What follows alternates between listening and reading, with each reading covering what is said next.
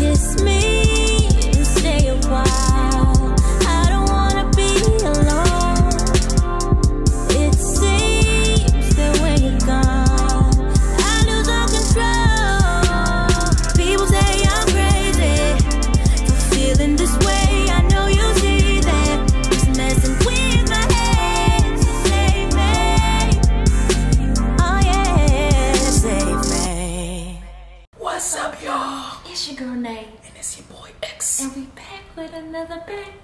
with another, back with another. Banger.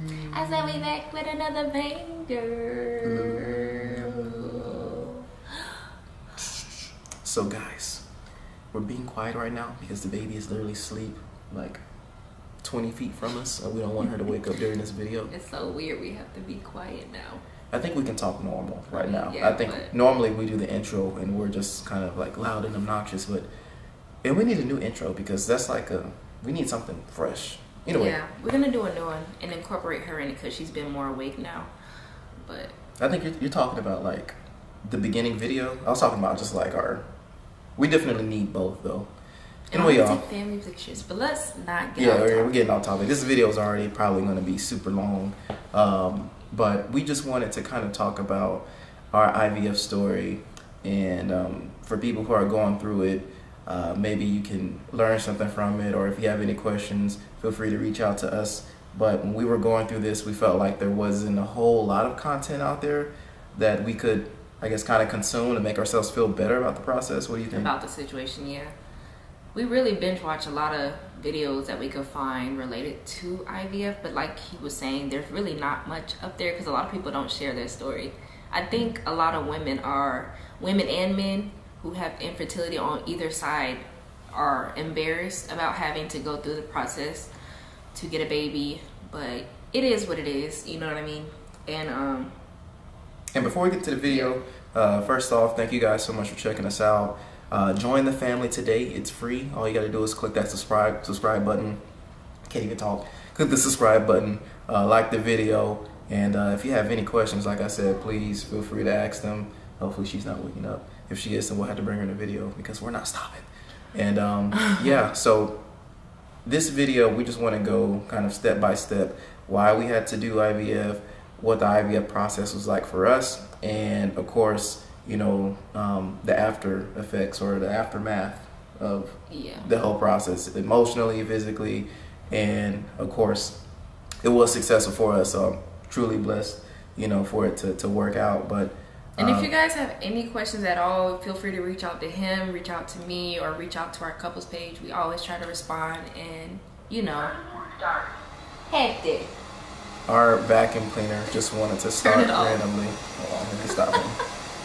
And the vacuum cleaner is so stupid that he's been stuck under the tree for the past. Just the day. Well, it's been one day. Mm-hmm. Okay, whatever. And guess what his name is?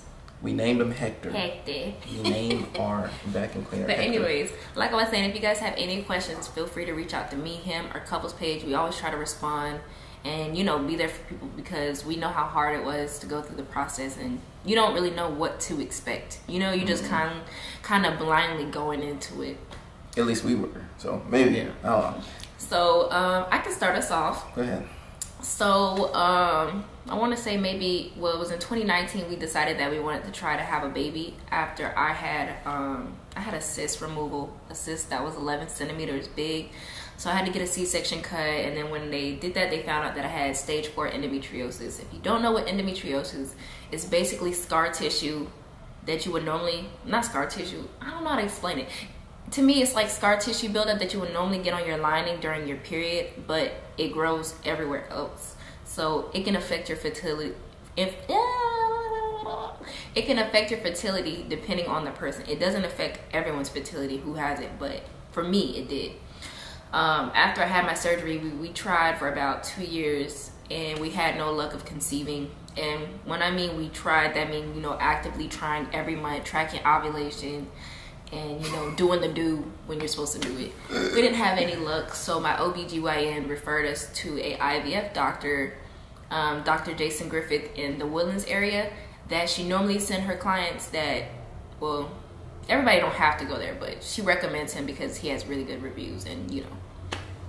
So we reached out and um, we had a consult. I think it was what March 2021. Yeah, we had a consultation. He literally, um, you know, kind of told us what, you know, his recommendation for us would be, and that was IVF. And he told her that the time frame for us to do it wasn't, you know, we didn't have a whole whole lot of time. Like we had maybe, you know, three three three to five years max, where he felt comfortable that we could do it successfully. So what that meant for us was we needed to figure out, okay, how can we afford it? How can we actually do it physically with you know out kind of impacting our lives in a way that that would be you know detrimental to a newborn you know it, was a lot of conversations that we had and ultimately And during that time too, we weren't married, so mm, you yeah, know that's a good I point. had my own insurance. He had his own insurance. I was actually still under my parents' insurance, and um, you know, And her IVF insurance didn't cover it. IVF costs a lot, and I remember after we had our consult, we were like, "Freak! Like we can't do this." I right was a freak. She was Well, I was like freak because I'm like, how the hell we gonna afford this? Like, if you know about IVF, beginning costs can be about twenty thousand for one cycle, not including your medicine, and then your medicine is between five to ten thousand, depending on how much you need. So I was just freaking out because I'm like, I don't want to take a loan out to do this, but I really want a baby. It was just a lot. long story short, if you do IVF without insurance, expect to be paying between twenty to forty thousand on average. And I know that's a wide margin, but It's you know, true. it's you know, it, it, it's rare that you're you would be on the lower end. Like everything will literally have to work out perfectly for you to be on that lower end.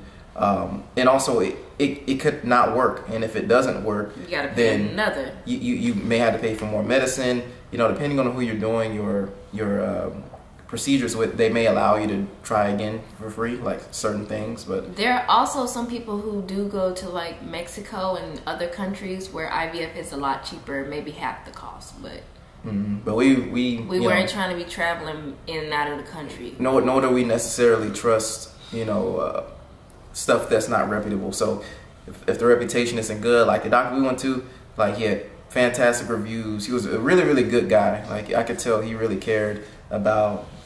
That's her. She's so sweet. We're But- going back for our next baby with Yeah, him yeah. We, we if could, we have to do it. we could tell that he really cared about us and he wanted to make sure that we were successful. And he also kept everything realistic. Like he didn't try to upsell us on, you know, this is definitely going to work or, you know, he gave us the reality of the situation. And I think you have to be grounded in reality, but you also need to be hopeful. And um, I don't think it works when people sell you false dreams. You know, I think you have to be realistic, but at the same time, you know, optimistic. But I feel like regardless whether you're going through IVF or not, you have to see both ends. You have to know that hey, this could also not work and this could also work. I think a lot of people go into the IVF process thinking that you're guaranteed to have a baby at the end of it. And that's what we hope for, but it doesn't necessarily happen like that for everybody. Like I've seen some girls on TikTok who have literally went through like 10 cycles of IVF and still haven't gotten a baby. Let me get my best friend. There she go. And as she goes to get the baby, I guess I'll say this. Um, just because you're starting IVF doesn't mean that the end goal is near. Um, IVF is a journey, and you know it's not just like she said. You know, you start IVF and the baby is just gonna be there. You know, it may take you multiple cycles to, to get to where you're trying to get to, and and that's fine.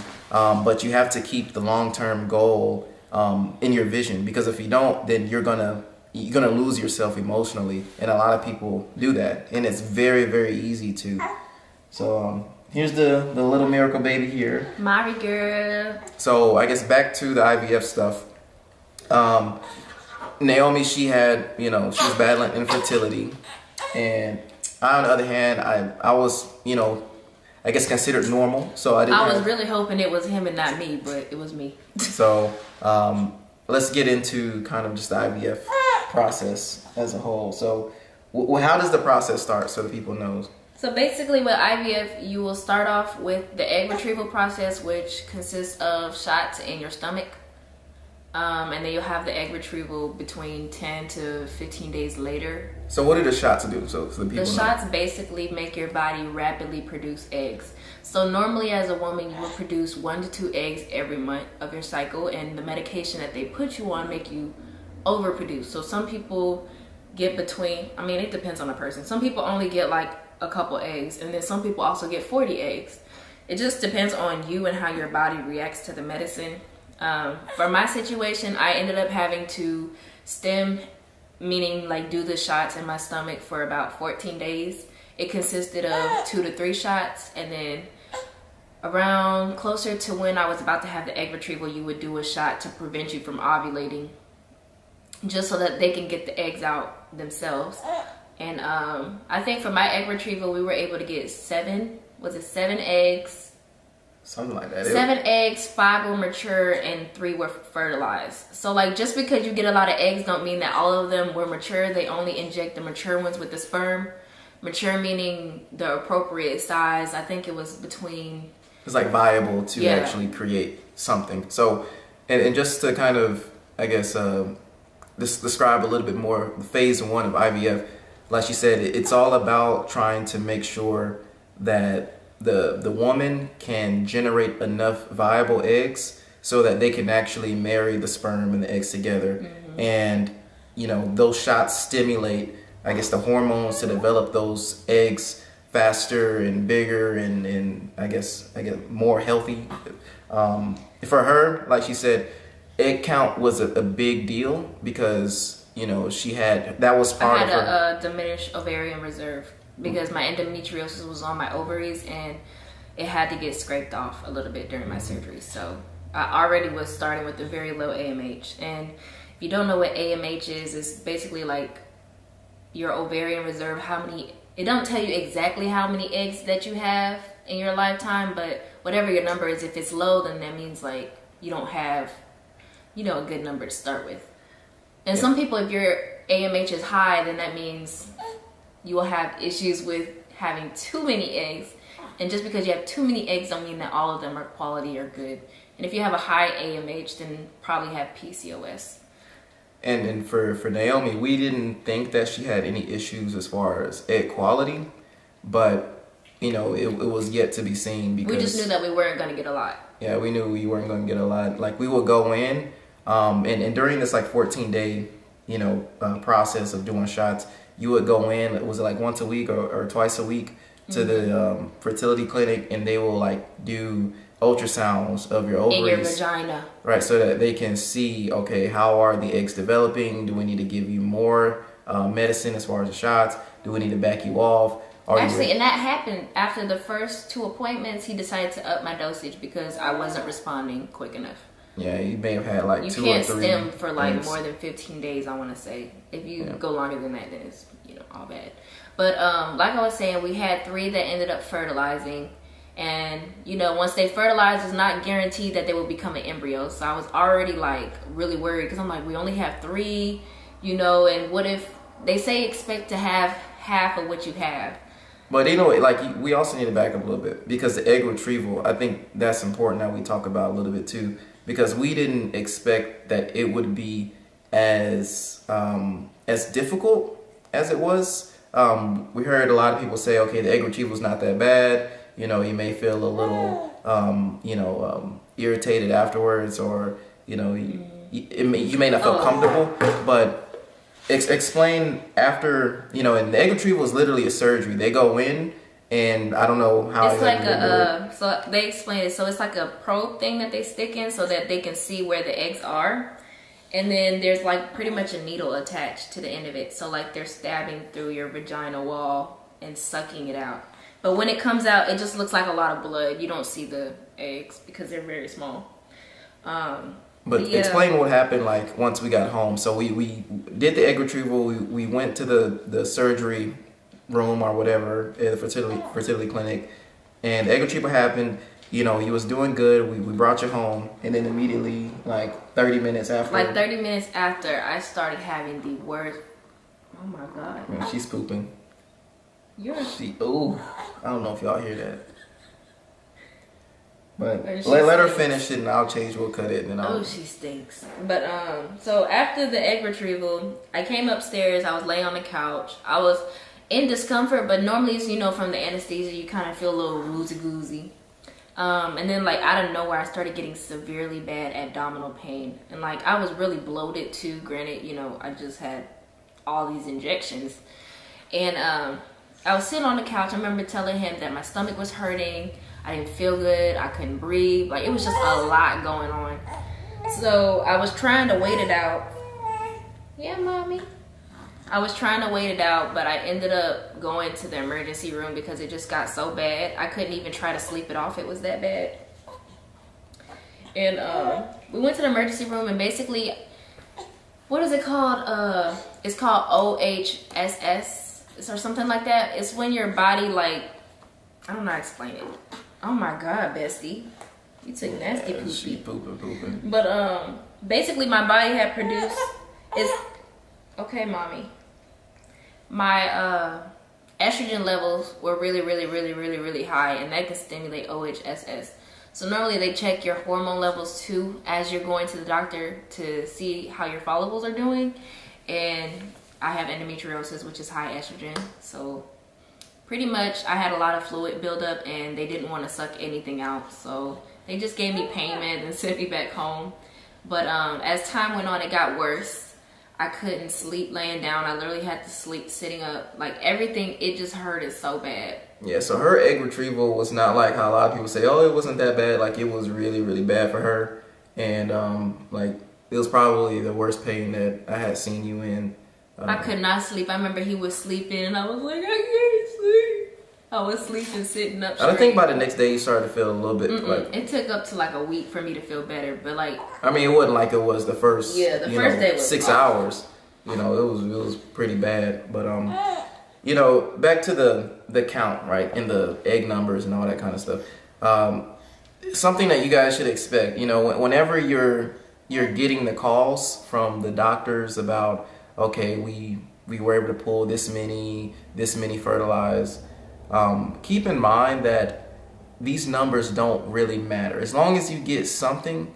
Like, be happy. Because on average they say half of half of half. You know, will make it, but everyone's situation is so different that you got to look at it for what you can look at it for. And that's you don't really know. You don't know anything. There are so many people who had one embryo that made it. And that one embryo turned into a human being so And it's you can't be hard on yourself because, like he was saying, you're like, oh my god, all these numbers, I need a lot, I need a lot. But if you want to be realistic, if you were conceiving naturally, it's one anyways. You know what I mm-hmm. mean? So you just don't be hard on yourself through this process. It's already a hard process. and you're gonna be you're gonna be hard on yourself you're gonna be looking at other people like dang how come they got 13 and we only got three you know if, if that's the case for you and just you know keep your your your mind in, in the right place and understand that everyone's different and you know it's a journey so some people they do multiple cycles just to get you know two or three embryos and that's perfectly fine um The best thing too, don't compare yourself. to Exactly. I was just about to say that. Don't compare yourself to anybody else. Just focus on you and your partner and make sure that you guys supporting each other and, and keep don't positive set no outlook. expectations don't i think that's the best thing i could say because i was like i hope i have this amount. Like just go through the process. Like he said it's a journey and it's going to be different for everyone. It's going to be different for every cycle. So just go through it and you know just pray about it and have high hopes that everything will work out for you. Mm-hmm. So literally after the egg retrieval, doctor tells you, okay, you have six or seven eggs, right? And then later that day, they call us and they say, okay, five of those eggs were mature, and we were able to, um, I guess, do the ICSI, yeah, fertilize. So we were able to uh, fertilize those, and ICSI is basically when they take the sperm and they literally like inject it inside of the egg. there's And- also an option to just put the sperm with the eggs and let it try to go itself but sometimes that doesn't work and usually they want to do ICSI when they want to like um, they want a higher rate of uh, fertilization, especially if you have lower numbers. It's like they don't want to mess around and and you know leave it up to chance or whatever. But um, so they told us, you know, five of them were were viable eggs that could be fertilized. So that's what they were going to do the ICSI with. Then they called us the next day and they said, okay, it looks like uh, three of them are. Was it the next day or was it literally five days later? I think they. no, they tell you how many were fertilized, and then you get an update on day three how the three are doing. So like, oh, okay. Yeah, yeah. sometimes some of them don't make it past three days. So for us, we knew immediately that we had three, um, three fertilized um, embryos or embryos that were forming. So of course we're kind of bummed out. Um, I wasn't as much bummed out, but I was kind of bummed out because I knew she was disappointed and she wanted more, and she didn't think that we were gonna make it to day five with all of them. You know, we we were just hoping for one, really. So they told us that at day five, they called us, and this is the big day. So usually um, at day five, you you'll start to know if these embryos are actually going to be able to um, create a baby. And you would okay, so I should start off saying too, you have a fresh transfer or a frozen transfer. We did a frozen transfer, but if you were doing a fresh transfer, then you would transfer the embryo about three to five days later. And the thing is, with the With- fresh transfer, I don't think you're able to do any testing on the embryos to No. determine if they have any um, Genetic. yeah, genetic defects that could affect the pregnancy. So that's just kind of a risk that you'll take. And you don't have to, you know, do genetic testing like we did. The reason why we did it was because our doctor recommended it, and he said that a frozen transfer is is what it would be best for us. But definitely, you know, do what your doctor your doctor rec- recommends. Um, And the reason he said it would be best for me, because like I said, I developed OHSS, and I needed time for my body to go back to normal before I start injecting more meds into myself. So we had to wait two weeks for our genetic testing, which feels like forever. Mm-hmm. When the two weeks came, But wait, wait, before you even get to the genetic testing, on day five, this is the big call, and Oh, you know, it, it's it's literally the one of the highlight points of IVF because at this point, you know, it's been five days since your retrieval. You know how many were fertilized potentially, and you're gonna get the number of how many blastocysts you have. And the blastocyst is essentially a clump of cells. no, it, it's not really just that. It's it's It's a clump of cells too. No, it- it's the embryo that has formed from the egg and the sperm. But most So- people don't know what an embryo looks like, and it just looks like a blob of cells. But it, it it's a growing human being. So that's the main point I'm trying to make. So day five, that's when they call you and they tell you, okay, how many made it, how many didn't make it. So mind you, we had three in the game. We had three to potentially become a blastocyst. They call us and they said, okay, um, two of them are day five blastocysts and they're growing just fine and they're ready to be frozen.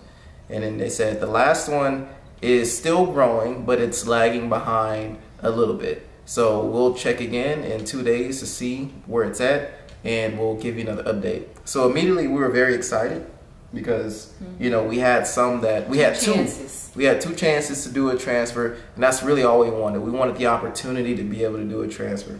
So two days go by, and the doctor calls again, and she's like, "We have great news for you. So the the one that was kind of lagging behind actually made it to blastocyst. So sometimes it takes a little bit longer than five days for it to become a blastocyst, but generally the embryos that get to blastocyst at day five are your stronger, higher quality embryos most of the time. Um, but for us, we also got lucky that all of our embryos were about the highest quality. I think only one of them was wasn't the It highest, was just good. but it was like the the It one right below the highest quality. So And if you didn't know, they rank your um, embryos based off of, I guess, how they develop and what they look like. So Mm-hmm. So all of them were perfect as far as chromosomes. All of the genetic testings came back. wait, and I want to say too, just because you have a fair or a poor grade embryo doesn't mean that it won't work. Many women still get pregnant with fair grade embryos. It's just when it looks excellent, it it's better. You know what I mean? Yeah, when they look a particular way, usually they grow at the rate that the doctors would feel comfortable with. But that doesn't mean that you need to have all excellent. You can have fair. You know, I think that at the end of the day, as long as you have the opportunity to transfer, just keep a positive outlook. And um, even if you don't have the opportunity to transfer, you know that just is a learning opportunity for you and your doctor to say, okay, what can we do different in the next cycle to make sure that we have a better result. So after that, you know, we were extremely happy. We were like, okay, we have three embryos. We can actually do a transfer. You know, we were at this point hoping, okay, hopefully we have, They you know, both genders. genetic- Well, we were hoping to have both genders, and we were hoping that they would test genetically normal. Once you decide to test your embryos, if you get an embryo that's abnormal, they will not transfer it, Mm-hmm. like at all. Um, I think the only abnormal considered one that they would transfer is a mosaic embryo, and that's because it has the opportunity to fix itself. Um, some chromosomes that are missing when you find out genetic testing just aren't compatible with life, so they're just not even going to risk it. And if, say, for instance, you do have one that's missing, I think chromosome 21 is Down syndrome, you could still transfer it, but they would prefer not to. And the thing is, the reason why they prefer not to is because they don't want to put the mother at risk. And also, if like like let's say, you know, they know for a fact that this baby won't have a liver or they, it won't have a left lung or something like that, then it is the likelihood that the baby will survive is extremely low. So instead of putting you know everyone through that stress, it's like let's let's you know reconsider our options and, and go about you know trying to better the next cycle so that we get embryos that are you know going to likely give us the baby that we want. Um, so after that, you know, Two weeks pass by, we get our call mhm, that, oh, and this is funny because he was in a meeting, um, a face to face meeting with, uh, I don't know, I guess people from his job. And um, the lady called me and I was talking to her. She's like, We got the results. She said, All of them tested normal. And I was like, That's wonderful. Like, I was excited. And she said, Do you want to know the gender? And I'm like, At first I was going to say no, but then she was like, They're all the same gender. So I was like, Damn, you she told you that. Yeah. Dang, she just that that's kind of messed up. Well. I, she asked me if I wanted to know, and I was like, yes, maybe. And she said, well, if it makes you feel better, they're all the same gender. So I'm knowing, okay, it can either be all girls or all boys. and obviously we have a girl Yeah. right here, so you know what it, what it was. So um, I ran out to him, and he's in the call talking, and I'm like, I thought she was lying. I'm like, all girls. Like, uh, I, I would have. I don't know. To me, I, I didn't see a, a world where I had all the same gender. I just knew like it would have been two and one. But it wasn't to say I was disappointed. I wasn't disappointed. I was upset. I wanted at least one boy. I was just like, you know, I mean, it is what it is. So It is, but Um, I just feel like you know, if we were to do another um, transfer, and I wanted to have a boy, I would have to do another egg retrieval, and I just knew how hard that was for me the first go around. So I'm like, damn. Then I'm like, what if I do it again, and I just get more girls? I mean, that's a possibility. Oh, I forgot to mention too in the beginning. When you start the process, they give you the option to either discard your embryos if anything happened to one of us, or we decide that we're done, or you can donate them to other people who don't get any good embryos, or you can just keep them. But um, We still have ours. They're frozen. So yeah, you know, we we hope we plan to hopefully use them. the last Um, two. Yeah, the last I'm trying two. to convince him to let me put both of them in for twins, but it's not happening.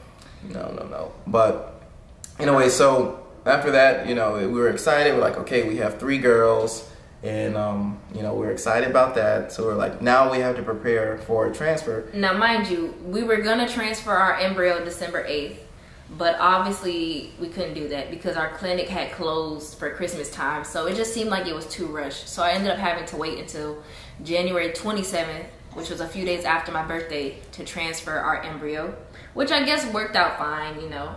And also, before we even were able to do the transfer, she had to have a surgery to remove polyps Yes. from her uterus. That's why it got delayed. And- And polyps are essentially little uh, growths inside of your uterus that makes it hard for embryos to implant. So if you have polyps in your uterus, regardless if you're doing IVF or if you're trying to conceive naturally, um, it's it's far less likely that you will actually conceive because you need that that uterus to look a certain way. You need it to be nice, clean, and able to absorb that embryo. So she had I to. forgot to mention too, when I had my surgery, I had to get one of my fallopian tubes removed on the side that produced less eggs than the side that overproduced, I guess. So um, after that, I ended up doing the HSG. If you had an HSG, you know what it is. But basically, they inject fluid into your uterus, and they watch it through a like an ultrasound thing to see if the fluid spills out. If the fluid spills out, then your tubes are open. If it doesn't spill out, then your tubes are closed. Sometimes that process too can end up opening your tubes, but I just completely forgot to say that. So Yeah, and her tubes were were functioning, but because she had such a low ovarian reserve, it was like it was still difficult to get pregnant. So it's like if we get pregnant naturally, or at least at the time, it would have been like a miracle, miracle, miracle. Because she had the polyp, she had the low ovarian reserve, she had the endometriosis, she had so many things working against her. So, um, you know, at this point, the polyps were removed and she had to recover from that. And, um, you know, we were able to schedule our transfer. And you, you schedule your transfer when you get your first cycle. So the unfortunate thing about the polyps was I had spoke with a nurse and she told me that I could stop the birth control and I should have just stayed on the birth control because when you get off birth control you'll have a cycle. So because I stopped, and didn't know when I was gonna bleed. So it was low key irritating me, me even more. I'm like I have to wait even longer because I don't know when my cycle's gonna come. But um, we scheduled our transfer. I started the IVF transfer medicine January 7th, and you're usually on the meds for about two and a half weeks. Um, I was on the estrogen patches twice on my stomach, and you change them out every four days, along with the estrogen tabs that went under my tongue three times a day. And that's basically to just get your hormones where they need to be before you put the baby in. I forgot about all that. I ain't gonna lie to you. and then um, about five to six days before your transfer, you would start the progesterone shots that go in your butt Oh, or your those. thigh. We still got oil on the wall from it just exploding when trying. Anyway, the progesterone Wait, wait, wait. So you you do the progesterone shots for 12 weeks. Go ahead. before transfer, right? Well, you start six days before transfer, and you continue them until you're 12 weeks pregnant. We can do a whole video on shots if y'all want us to, because I completely forgot a lot of stuff. I need to go back and remember. I love you did too. But the shots, the progesterone ones were the ones that kind of sucked because the oil is so thick, and for her, she needed to do more than like the average person. I was doing three mLs Yeah, because I kept bleeding. So y- your butt would get sore on each side. You got to figure out di- different places to do the shot because it's sore and tender.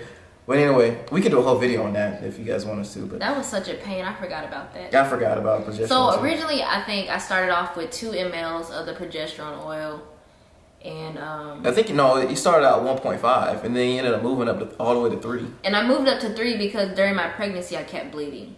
Hmm And they wanted to make sure that it wasn't gonna miscarriage. a miscarriage. But yeah, so after we we did the progesterone shots for how many days? Two weeks, whatever it No, was. five days before transfer. That was it. Yeah. I feel like it was so much longer than that. I don't know. But anyway, so the transfer basically is, is similar to everything else that you'll schedule, but the transfer is, is not painful. You're wide awake, unless some people can't tolerate it. She literally like this, and you know the doctor they thaw out the embryo, and they they bring the little embryo and it's like a little syringe type thing. They stick it all the way in the vagina, and on like the a turkey. like on the monitor, like the it shows the embryo like going in. There's like an air bubble that is like surrounded. I don't know, but basically you're able to see the embryo go inside the vagina. And then they also give you a picture of the embryo. I'll insert it somewhere in the video. They give you a picture of your embryo.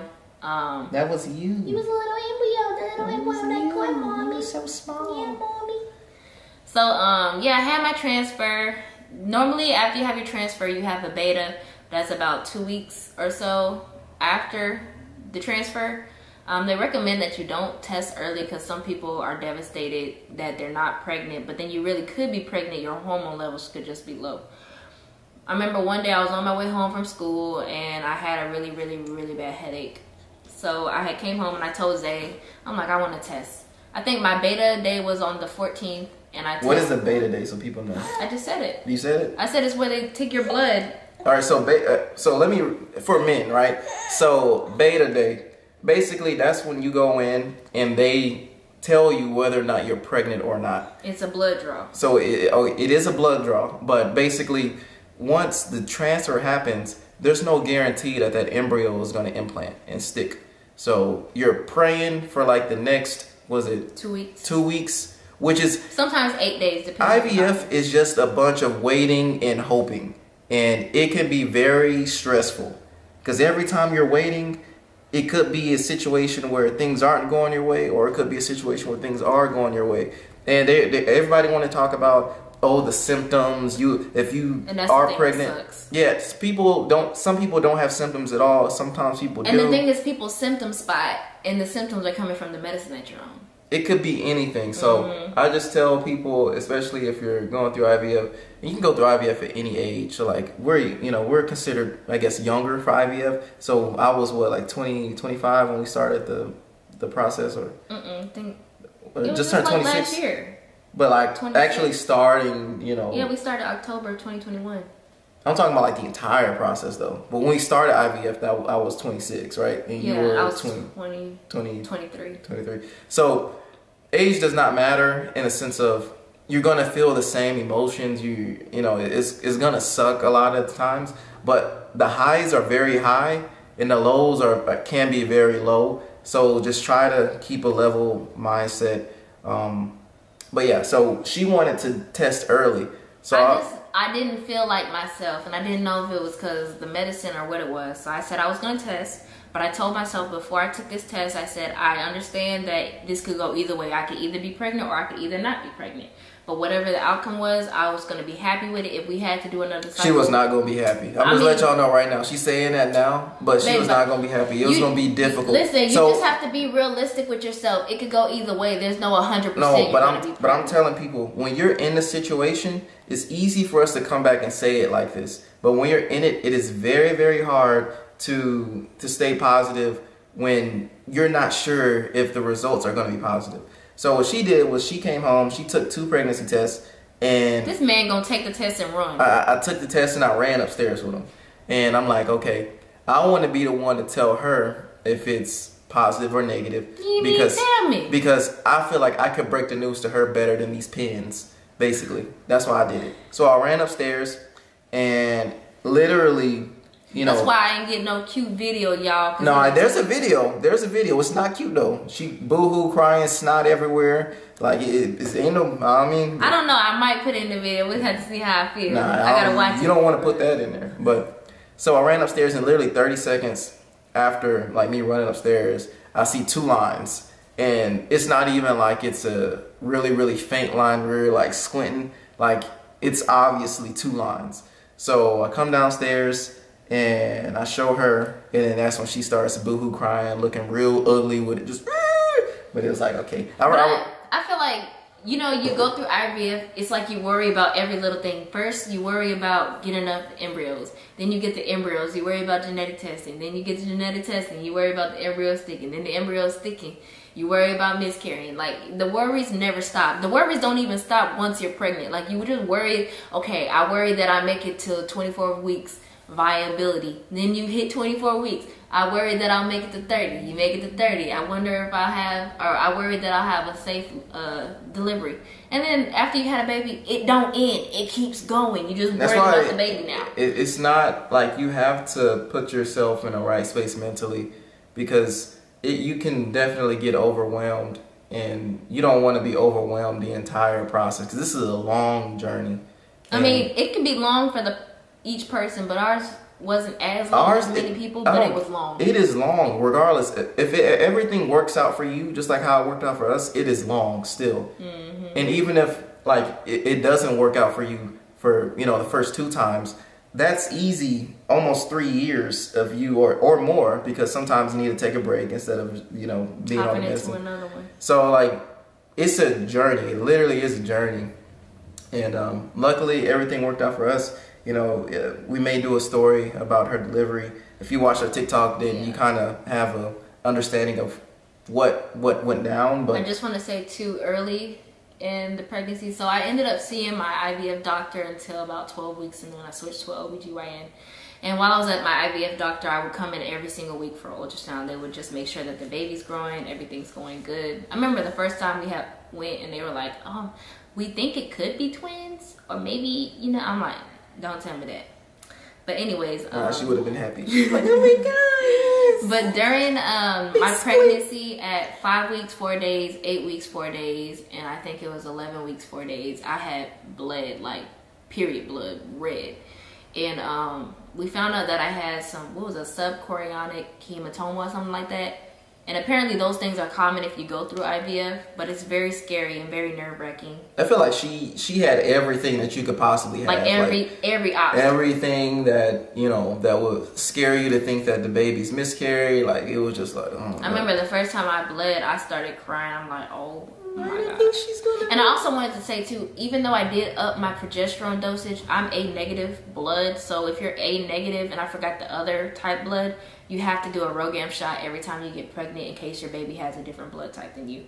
So I had to get the RhoGAM earlier in my pregnancy around. Oh, we're sorry, mommy. I had to get the shot at five weeks, four days, and then I got it again at 28 weeks pregnant. And then I had to get it again after she was born because her blood type is different than mine. But um, yeah, we can If- do a more in depth video about my. Yeah, each one because there's so much stuff to so go into detail about. And we really just scratched the surface of the journey. But um, and if we do decide to do IVF again, we'll probably document it because we wanted to do it this go round. but I didn't want to document it and then it not work. like yeah, that, was the main thing, and that's just being honest and transparent because there are a lot of people that posted, and even if it doesn't work, you know, they still you know post. And I have a lot of respect for people like that 'Cause it's but, hard. But to to me, well, not to me, but really, really more so for you, I think it'll be very very hard to relive some of that. And, And then a you lot would of just want to on the- forget about it and move on. Yeah, on. and a lot of people on the internet are rude. So like you post your process and people comment, "Why don't you just adopt? Why don't you adopt a baby from foster care?" And it's like that's not something that you want to hear while you're trying to go through this process. It's already hard. You know what I mean? Yeah, and, and if you're the type of person that that immediately jumps to those other, you know, solutions, you have to think about it like this.